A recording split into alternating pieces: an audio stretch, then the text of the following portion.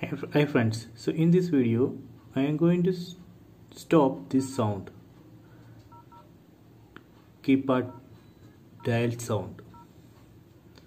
So for that we can go to settings, tap on settings, then go to sound and vibrations, then go to system sound.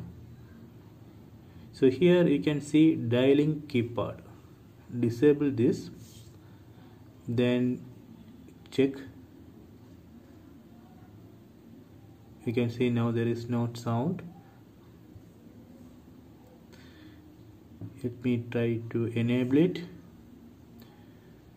So now there is sound. So this way we can enable and disable this dialing keypad sound. Okay you can try it